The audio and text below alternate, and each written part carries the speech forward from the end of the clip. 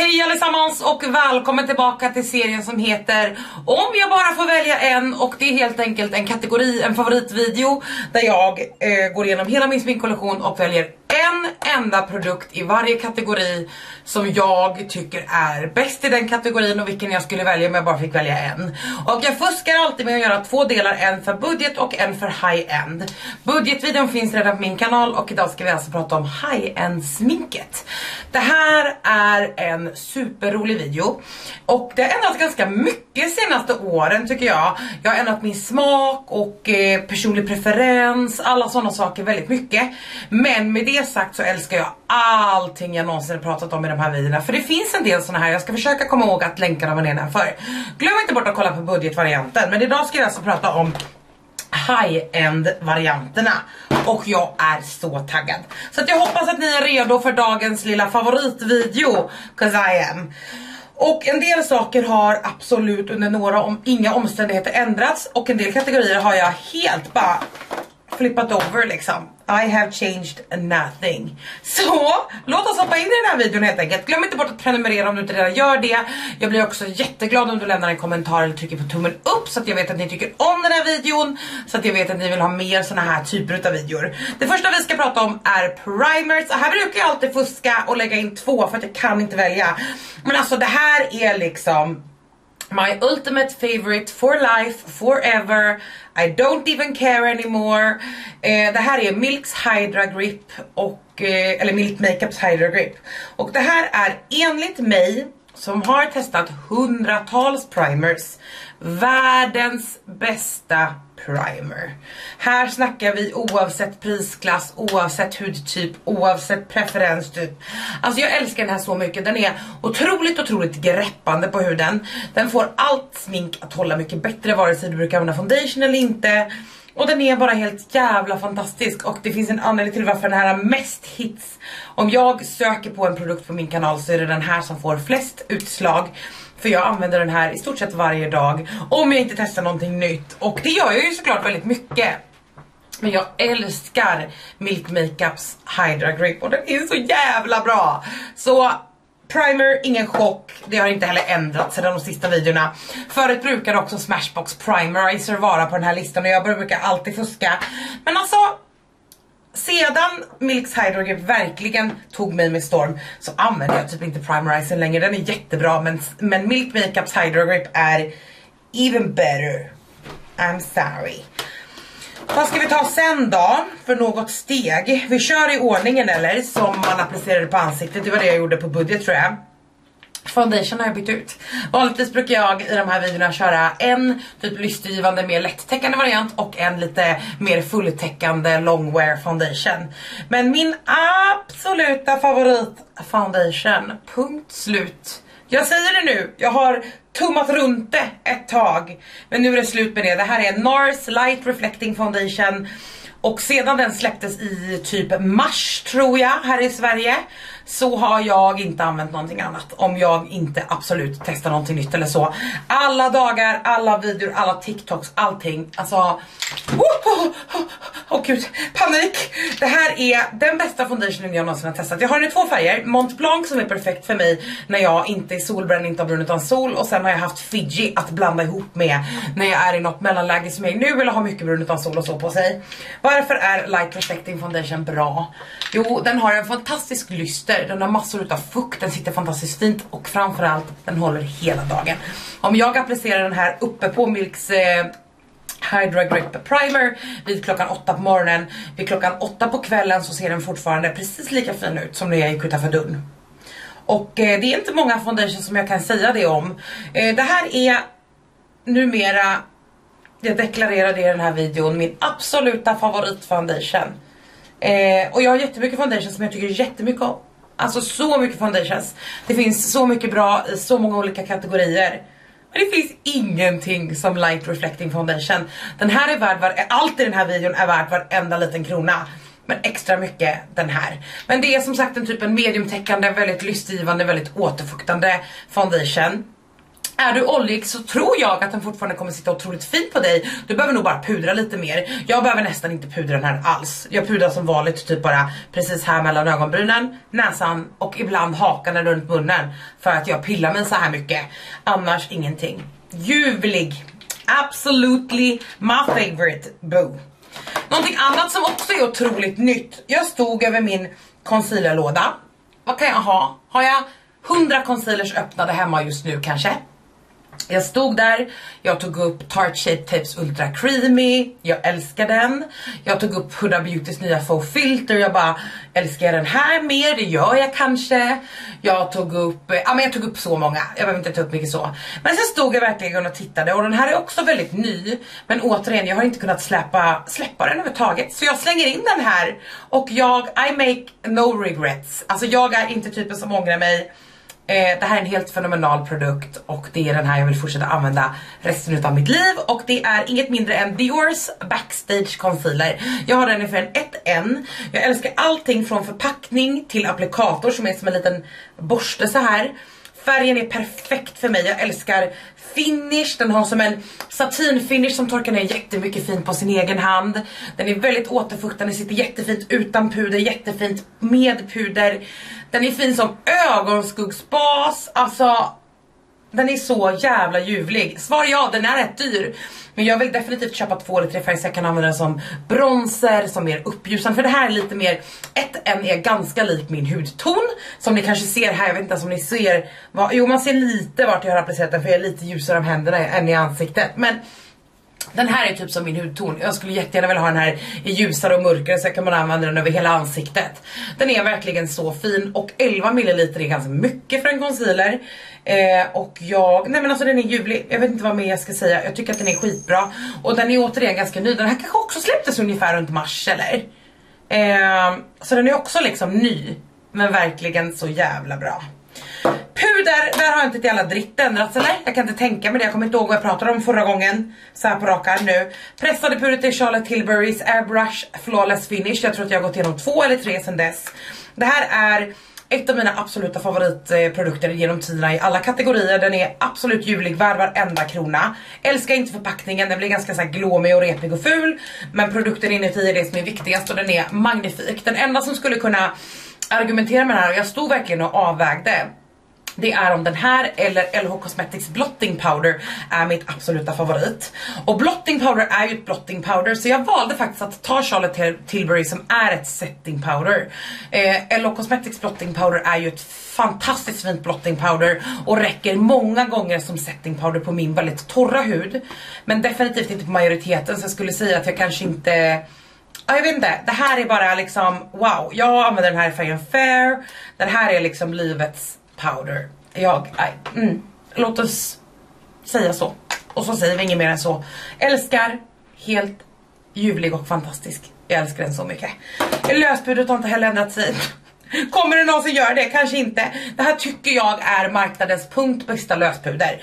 Eh, superprisvärt när du tittar på hur mycket produkt du får. Du får 25 gram. Loose setting powder ifrån Anastasia Beverly Hills. Jag använder den i färgen Vanilla. Jag har också eh, translucent men det är Vanilla som jag, oh, gud vad gullig min hund är. Det är Vanilla som jag absolut använder mest. Eh, ljuvlig. Jag älskar allting med den här som finns. Eh, så bra. Börjar jag någonsin frilansa igen på heltid så kommer jag 100% att ha bara den här i mitt kit. Det är liksom den bästa bästa. Det enda som jag inte älskar är att förpackningen är ganska bulkig. De hade liksom, locket är liksom ganska stort och bulkigt. Och de hade lätt kunnat liksom minimera den här förpackningen lite grann. Men det sagt inte det så jättemycket big deal. Jag använder i regel inte full-size produkter när jag reser ändå. Alternativt så har jag eh, kompaktpudret med mig liksom. Men de här två är helt ljuvliga och loose setting powderet i Vanilla från Anastasia Beverly Hills är som sagt enligt mig det bästa marknaden på, eller det bästa pudret på marknaden punkt. Alltså det finns ingenting som det här. Det jämnar ut, det sätter fantastiskt, man behöver väldigt lite produkt, det torkar inte ut över tid. Alltså jag älskar allting med den här. Ljuvlig. I love it so much, it's really good. Eh, låt oss hoppa över till setting spray eller? Jag vet inte varför jag känner det. Urban Decay All Nighter Setting Spray. Det är punkt marknadens bästa setting spray. När, det pratar, när vi pratar om eh, eh, setting, eller sprayer till ansiktet så finns det olika typer. Det finns finishing spray, setting sprays, återfuktande spray. Men de, de typerna som jag tycker gör egentligen någon stor skillnad är setting spray som får, får saker att faktiskt hålla bättre, ger bättre långvarighet, eh, så. Urban Decay All Nighter är bäst på marknaden. De görs utav märket Skin Skindinavia eh, som gör settingsprayerna i deras liksom, fabrik. Så jag skulle säga, jag har testat Skindinavia förut, att de är väldigt väldigt likvärdiga. Eh, men Urban Decay är både billigare och mer lättillgängligt för det finns exakt överallt. Går alltid att köpa med rabattkupong, köp aldrig till fullpris. There's no need eftersom den finns på alla webbshoppar cross the road liksom. Bästa settingsprayen finns i en lystgivande variant, finns i en nermattande variant. Men jag tycker att originalet All Nighter Setting Spray är liksom It's, it's the shizzle så att säga. Älskar den så mycket. Sen finns det den här andra typen av spray då och det är vad jag brukar säga återfuktande, mer för att smälta ihop puder, mjuka upp allting och så. Och då faktiskt den här, den här är också ganska ny. Eh, jag var inte superimponerad utav den när jag testade den första gången men jävlar vad jag har värmt upp för den här. Det här är från märket Smashbox, det är deras Photo Finish Revitalize 8-in-1 Primer Essence. Och det här är som ni hör en 8-in-1, man kan använda den som en setting spray, som en fuktspray, som en, ja men rätt massa skit. Och eh, den är ljuvlig för det, jag älskar allting med den här. Den har en fantastisk mist, nu har jag ju fläkten igång här, men den har en helt fantastisk mist. Den sätter ansiktet fantastiskt bra. Den gör att allting håller bättre, sitter längre, så himla bra och den ger en superfin lyster utan att torka ut eller slita på huden i onödan. Absolut ljuvlig. Men om vi pratar bara ren setting spray så är det Urban Decay. Alla andra gånger Smashbox. Den här. Älskar den så mycket. Jag är så imponerad av mig själv att jag har så mycket nya produkter i den här videon. Och det är fler nya och några inte nya. För att jag är ju en otrolig creature of habit. Alltså jag älskar ju, när jag älskar någonting, då älskar jag det för alltid. Du vet jag, du vet jag har älskat halloumi nu, ätit det varje dag i, i, tre års tid. Du vet jag har inte släppt det än. Du vet så. Alltså jag, eh, jag älskar vanor och smink är inget undantag. Vi hoppar över till bronzer, där har vi också lilla Charlotte Tilbury. Puderbronzer, bästa inom lyx och det var svårt, alltså det var riktigt svårt. Det är, det här är mediumvarianten. varianten det här är Charlotte Tilburys Airbrush Bronzer. Den är enorm, den är fin, den är snygg, den är lyxig. Den sitter helt fantastiskt på ansiktet. Eh, sitter fint på kladdig bas, torr bas, matt bas, glowy bas. På krämprodukter, under eh, krämprodukter. Alla fall av alla så är den här magisk. Den ljusaste som heter Fair är väldigt ljus. Så jag brukar oftast använda medium som det här är. Men då gäller det för mig att vara lite lätt på handen. För den kan bli lite eh, pigmenterad. Med det sagt, har man en medium hudton så kommer ni ju absolut älska den här. Det här är också en jag ska se om jag kan demonstrera. Det här är också en refillable eh, och alltså om du till exempel är makeupartist eller har såna här, eh, vad ska man säga, eh, magnetiska paletter eh, så kan man ha den här. Och eh, som sagt, samma sak där, skulle jag någonsin börja frilansa igen då skulle jag absolut ha de här, poppa ut de här och lägga dem i mitt kit för att de är ljuvliga. Nej, så bra. Så bra. Och jag har som sagt både fair och medium och den här som jag visade upp idag är medium. Så ljuvlig. Eh, jag använder ju betydligt mer krämprodukter på ansiktet än vad jag använder puderprodukter numera. Inte för att jag inte tycker om puderprodukter men på mig som är så himla torr så är krämprodukter helt enkelt mer eh, lätta att jobba med.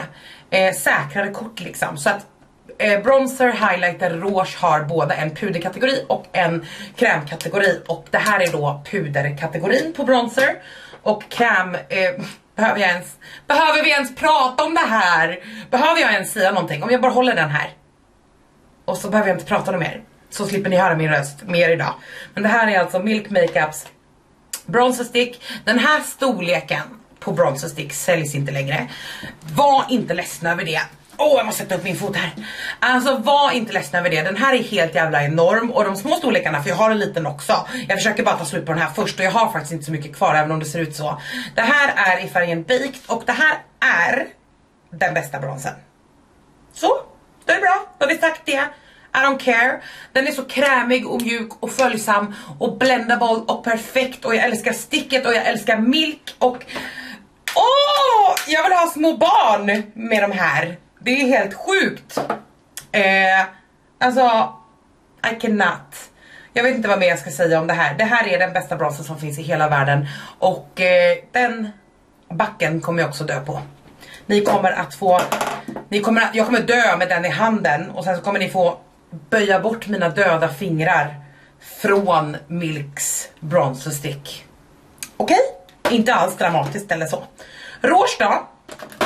Eh, också en helt ny eh, pudervarianten. Och det var svårt. Det finns mycket, återigen, jag gillar väldigt mycket puderprodukter. Men jag använder ju mest krämprodukter så det var svårt att avgöra vad är verkligen min ultimata favorit. Men den här formulan är magnifik. Det här är från Glowish by Huda Beauty. Glowish är ju typ ett, det är Huda Beauty, men det är typ deras mjukare line. För Huda Beauty är ju väldigt fulltäckande, wow wow. Medan Glowish är mer mjukt och följsamt och lystrigt och det här är deras blush. Jag har dem i fem färger, det här är Healthy Peach som jag har använt allra mest. Magnifik formula, magnifik färg, magnifik allting och Huda Beauty gör ju några av mina absoluta favoritprodukter. Eh, jag ska vi se, jag tror att jag har minst en Huda Beauty produkt till, kanske två. Och alltså jag de här är så bra. Och som sagt, jag vill verkligen poängtera att jag använder inte supermycket puderprodukter. Men när det blir höst och så, så gör jag det mer. Jag vet att det är mycket snack på mina kanaler om krämprodukter. Men det här är en jättefin mjuk formula som är väldigt uppbyggbar och väldigt lätt att ha och göra med. Så jag älskar den, tycker den är så trevlig och finns i jättemycket fina färger. Jag har också en som är så här ganska mörk berry som är helt fantastisk på en mörk hudton. Jag eh, testade den på en av mina eh, en av mina vänner här bara två veckor sedan och den på henne blev så jävla sexig, shit shit shit. Eh, kul tycker jag också när det är färger som funkar för verkligen alla. Älskar den här från Glowish i alla fall. Krämråset däremot är det väl ingen snack om eller? Vad det är jag som jag älskar. Jag pratade om Rare Beautys Liquid Blush Soft Pinch tror jag de heter. Så mycket att ni måste ju vara dötrötta på att höra det.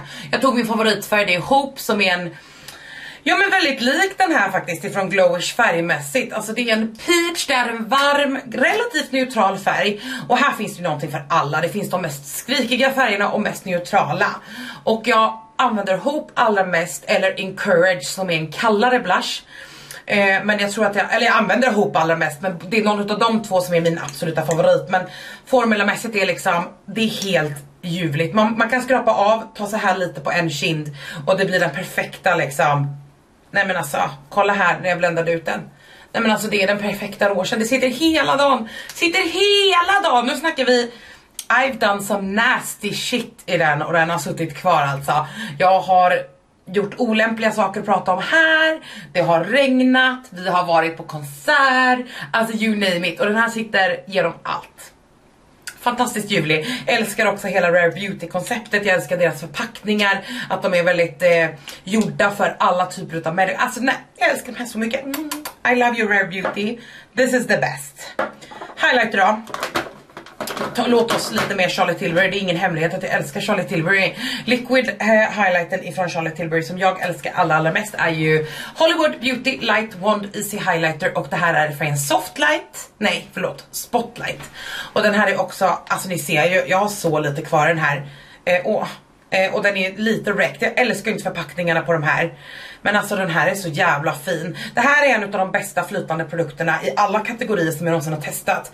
Mjuka, följsamma, går att bygga upp till jätteblinding, går att bygga upp till något jätte, eller inte bygga upp det så att den är jättemjuk, håller hela dagen, svinlyxig, allting. Jag älskar alla de här one-grejerna men just highlighten tycker jag, eh, vad ska man säga, ställ, alltså den står ut för att Många flytande highlighters eh, är inte antingen snyggt på puder, den här funkar utmärkt på puder eh, eller så blir den väldigt väldigt mjuk på huden om man är matt och så men den här blir bara så fantastisk oavsett vad jag gör med den, den är så lätt att jobba med, så vacker, jag älskar allting med den att göra. Jag vet inte vad mer jag ska säga, den är absolut ljuvlig. Och när det kommer till puder highlighter alltså, är det någon som hårdar puderprodukter, highlighters i hela världen så är det jag. Alltså så svårt att släppa dem. Men favoriten är från Huda Beauty och det här är deras light glow obsessions, det finns också i medium och deep. Eh, alla är jättefina men obviously jag är ju väldigt väldigt ljus så jag har ju givetvis den ljusaste varianten. Och den här är helt magnifik. De brukade ha större highlighterpaletter som var så jobbiga för de var så stora. Den här är så bra i storleken, samma storlek som deras ögonskuggspaletter. Så den är så fin. Jag har ingen highlighter på mig. Åh, jag håller på att göra ett foundation test som ni redan har sett på kanalen. Det är den här color changing foundation ifrån Meroda om ni vet vilken det är. Eh, så jag ska inte störa basen annars hade jag lagt på lite highlighter men alltså den här är så fucking fin. Alltså den här är så fucking fin att jag dör. Alltså kolla här nu. Alltså kolla nu ordentligt. Alltså, you don't fucking get it man. I don't understand. Ah, förlåt, jag är på så jävla konstigt humör idag. Det är hela mensgrejen hörni. Men alltså den här är helt fantastisk. Eh, jag älskar ju inte highlighterpaletter så. För att de ofta kan vara väldigt stora bulkiga men båda favoriterna i budget och high-end varianten utav de här är en highlighterpalett och det finns en anledning till dem för att de är så jävla fina. Alltså de är verkligen helt vansinnigt fina. Och och, som sagt om ni undrar vad som låter så är det fönstret. Men alltså, nej men alltså den här är så bra. Eh, och eh, så var det med det, så var det inget mer med det. För den är så bra. Och jag älskar den så mycket. Så är det med det. Jag insåg att jag aldrig har tagit bort den här trots att jag haft den i typ ett år. Fan vad hon blev sparkly. Miss Huda Beauty. Oh damn. Vad har vi sen då? Parfymen, vi tar parfymen nu då. Om jag bara får välja en enda parfym, high-end, så är det Vanilla Vibes ifrån Ja, Juliette has a gun. Alltså nej, nej, nej. Ni vet att jag är besatt av vaniljdofter. Den här kostar 1,2 miljarder typ. Men alltså den är så jävla ljuvlig. Alltså ni förstår inte. Det här är den bästa vaniljdoften som någonsin har gjorts. Punkt slut. Älskar man vaniljdofter så måste ni köpa den här. Nej det måste ni inte, förlåt. Jag hatar att säga så men jag kan inte låta bli. Det här är liksom det den är söt utan att vara för söt. Den har väldigt, väldigt rå vanilj i sig och den är, ja, det är ingen kokos, ingenting sånt utan den är bara vanilj, vanilj, vanilj och flaskan hörni. Ja fy fan vad fin. Jag länkar givetvis alla produkter som jag pratar om här nedanför. Inklusive svindyra saker som Vanilla Vibes. Nej men alltså wow. För övrigt bara en liten side-note. De har släppt en ny doft som heter Magnolia Bliss. Ah, den är så god. Den är så god. Oh, sluttjatat om det hörni. Jag vill ha läpparna nu eller? Eh, läpparna jättesvårt. Jag pratade om det i min budgetvideo att finns det en anledning att köpa en bra läpppenna verkligen när Essence läpppenna kostar typ 15, 20, 25 spänn och är liksom så jävla bra. Nej, tvek. Men en läpppenna som jag absolut älskar och tycker är värd varenda krona. Det är Crayon, alltså läpppennorna, Crayonsen ifrån Ello Cosmetics. Just det här är Ja du, jag har skavt lite här vet ni för jag har använt den här så mycket. Men det här är Dusty Pink kanske den heter eller något sånt. Nej äh, men alltså det här är dock en läpparna på ett helt annat sätt än vad... Eh, eh, nu hade jag massa foundation och sånt här men eh, ett helt annat sätt än Essence-pennorna som är väldigt vaxiga. De här är väldigt väldigt krämiga men de sätter sig själva. Superfina som läppstift, superfina hela... Den heter Dusty Pinka, nu ser jag det. Jag hade tittat på fel ställe. Eh, Superfin som läpppenna, läppstift, även ögonmakeup och så. Helt ljuvliga. Men jag tycker som sagt att läpppennor är en sån där grej. Jag tror att jag hellre lägger dyrare pengar på ett läppstift än en läpppenna. Eh, när det finns så bra läpppennor för så, så billigt liksom. Med det sagt så tycker jag att eh, det bästa läppstiftet som finns är Ello Cosmetics Magic Stick. Är det någonting som Ello Cosmetics kan så är det ju läppprodukter. Deras Fantastic har varit mina favoritläppstift, jag vet inte, ni, återigen hundratals gånger på min kanal. Men jag gillar ändå den här typen utav läppstift. Det här är Mellow Mauve. Det här är typ satinläppstift som är väldigt väldigt återfuktande, otroligt högpigmenterade och jävligt snygga. Fy fan vad fina de är. Och eh, de är så bekväma och så fina. De, eh, de, finns i fem färger, jag hoppas att det kommer fler för de är helt ljuvliga. Eh, Melon Mavi är en av mina favoriter, den är väldigt kall, hade inte alls passat till den här looken liksom som är väldigt väldigt varm. Men de är verkligen så pigmenterade, så krämiga, sitter så fint och speciellt över, alltså med de här under så är det magnifikt av Magnifik. Så jag älskar dem, jag tycker att det är, det är deras två sista läppsläpp om inte jag tänker fel. Och de har gjort dem så himla bra. Men det var antingen det här eller Fantastic. Eh, och Fantastic är ju typ mer eh, eh, vad ska man säga, lystergivande, lättare teckning och så. Men alltså de här är så bra. Så jävla bra. Ello Cosmetics. Läppglanset däremot. Eh, det här är det som jag har på mig idag, fast nu har det skavts av lite. Det här är, ah, ah, världens bästa läppglans, läppolja, läpp någonting. Det här är Clarins Comfort Lip Oil. Jag har fem färger, jag vill ha alla. De här är så helvetes satans fantastiska så det finns ju fan inte någonting annat att säga. Och jävlar vad jag svär i den här videon hörni. Men alltså den här är så bra så jag vet inte vad jag ska ta vägen. Alltså den är så bra. Återfuktande glans. Ah. Jag kan inte sluta. Luktar gott, sitter jättebra. Så mycket glans, sitter jättelänge för att vara ett läppglans. Inte så jobbigt, håret fastnar inte så mycket i det. Ljuvligt, ljuvligt, ljuvligt. Jag vaknar, eller vad heter det? När jag tar av det så är det alltid superåterfuktat och mjukgjort och sånt. Mm. Ah, mm. Så bra, så bra. Jag har lite ögon kvar då. Ja, jag har en liten svamp. Bara för att jag pratade om min favoritsvamp i budgetvarianten så tog jag också en i icke budgetvarianten. Det här är Original Beauty Blender. Den är skitig för jag använde den igår. Eh, det finns egentligen ingenting på marknaden som originalet Beauty Blender. Eh, Beauty Blender är ju ett märke och inte, det här är en sminksvamp. Märket heter Beauty Blender, alla svampar är inte en Beauty Blender. Det är originalet och det är de som har satt den här typen av svamp på kartan och är också ledande världen över i hur många svampar man säljer med all jävla rätt. De är fantastiskt mjuka, jag föredrar originalrosa färgen. Alla andra är lite annorlunda tycker jag. Alltså jag har så många här. Eh, bland annat så har jag en orange. Jag har en, det här är också en beauty blender, rosa. Jag tror att jag har en röd, jag har definitivt en grön. Nej men alltså jag älskar eh, beauty blender. Jag tycker att de är helt magnifika och så himla himla himla himla bra. Sen är de dyra och det, man ska byta ut dem ganska ofta. Eh, tycker jag att de är bättre än Flair som är min liksom, favorit eller vad man ska säga för den kostar 79 spänn. Ja men jag tycker att de är lite bättre. Men kanske inte 130-40 spänn. Alltså jag får tre Flair på en sån här. Och jag vet inte om jag tycker att den är så mycket bättre. Måste jag säga. Plus att jag föredrar formen på Flair till exempel. Vi har lite ögongrejer. Jag pratade om att min absoluta favorit ögonskuggsbas är ju Glossgod. Och eh, det är det, men en ögonskuggsbas som jag absolut avgudar också och som jag kanske hade satt som min absoluta favorit om den fanns i andra färger, för den här säljs bara i en enda färg. Och det här är eh, Anastasia Beverly Hills, deras prime primer ögonbas och den är så himla ljus, ni ser där på min hand. Och de har gjort det med flit liksom, tanken är att det då ska få ögonskuggor att poppa. Men den är så jävla ljus att om jag inte ska göra någonting superpoppigt som typ idag, då syns det alldeles för mycket att den är alldeles för ljus och jag gillar inte det. Eh, och på en mörkare hudton än mig så ser det bara helt vansinnigt ut tycker jag. Eh, eftersom ögonskuggsbasen syns ovanför liksom ögonskuggan. Med det sagt, formulan är magnifik. Magnifik, jag älskar den jättemycket av den enkla anledningen. Men tyvärr så är det inte tillräckligt liksom.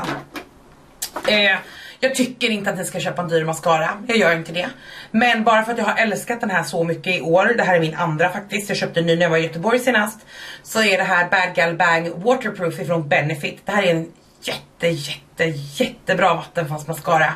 Eh, men jag tycker också att den är lite för dyr för mascara, för mascara går man nu och, alltså igenom otroligt otroligt fort. Ungefär lika snabbt som svamparna. Så svinbra, men den får inte mer luft än så så vill ni ju då aldrig, när vi pratar om ögonskuggor så vill ni ju aldrig då att jag nämner min egen ögonskuggspalett men jag måste göra det för nu är det länge sedan jag tjatade om den. Det här är Glossgod, ett svenskt sminkmärke som jag på Black Friday för snart två år sedan gjorde en collab med och det heter, den heter inte mindre än Incendio, det är den jag har på ögonen idag och som ni har sett hela videon det här är min helt egna palett. Jag gör vinst varje gång ni köper en sån här palett. Och jag är omåttligt stolt över min palett. Alltså det är jag är så glad. Numera så är den här permanent, med andra ord Glosscouts kommer ha den här i sitt sortiment så länge Glosscouts tycker att det är lönsamt för dem och så länge liksom eh, så länge jag säljer helt enkelt. Och jag är så glad. Jag såg i inspelande stund att den är slut på Glossgods hemsida. Men den finns att köpa på Lyko. Eh, och det är ju bra för då kan ni använda rabattkod eller någonting sånt. Så jag lämnar länkar till allting precis som vanligt där nere. Men det här är min absoluta favorit ögonskuggspalett. Punkt slut såklart. Jag har gjort dem själv liksom.